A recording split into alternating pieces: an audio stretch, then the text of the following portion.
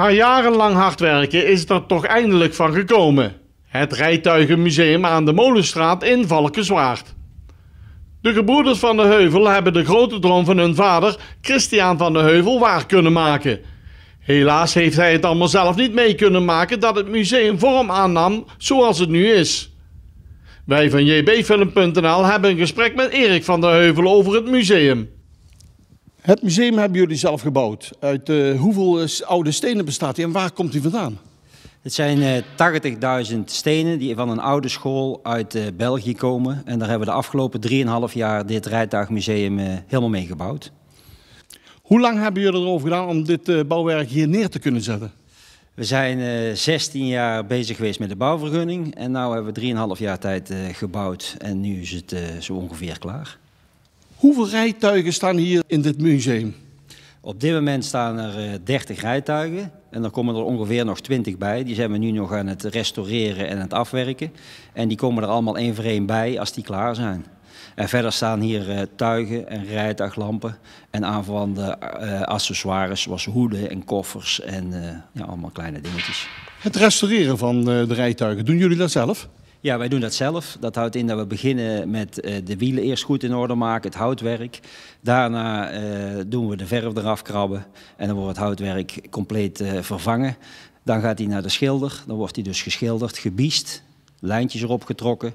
Dan is het stoffeerwerk aan de gang en dan wordt hij helemaal afgemonteerd met de rijtuiglampen erop en gesmeerd en dan is hij klaar.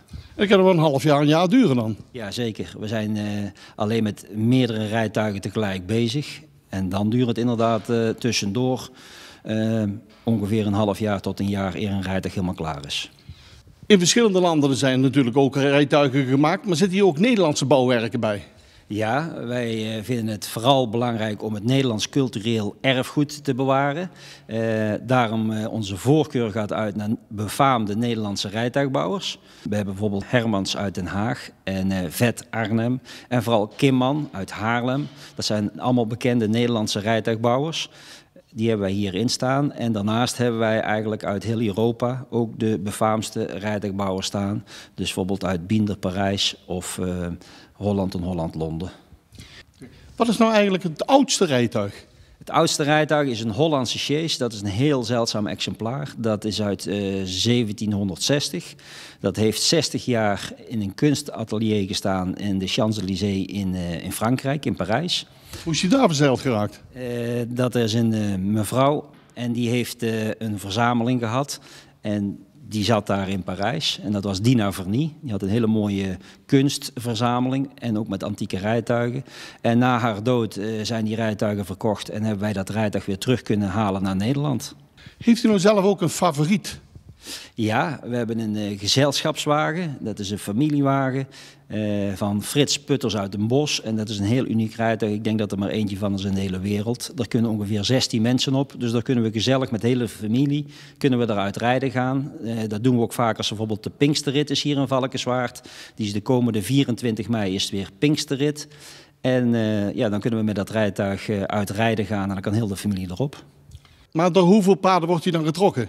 Dat wordt door drie paarden naast elkaar uh, getrokken, omdat het een heel lang rijtuig is. Normaal zou er een vierspan voor staan, maar dan wordt het rijtuig te lang. Nu staan er drie paarden naast elkaar en dat heet een bisschopsaanspanning. En dan kunnen die drie paarden, die zijn korter dan, kunnen toch met de PK's dat zware rijtuig vol met mensen trekken. Eindelijk is dan de droom verwezenlijk. Het gebouw is helemaal klaar, de rijtuigen staan allemaal netjes erin. Dan gaan jullie een opening doen. En wanneer is die? Wij zijn nu geopend met Pasen. Dan zijn uh, de mensen gratis welkom. Eerste en tweede paasdag van 10 tot 5. Daarna uh, zijn we geopend voor groepen op afspraak. En de officiële opening die uh, gaat in de loop van het jaar een keer plaatsvinden als alle puntjes op de i staan. We zijn nou alles nog aan het inrichten. Er komen nog een hoop rijtuigen bij. Als alles klaar is, dan laten we weten wanneer de officiële opening is.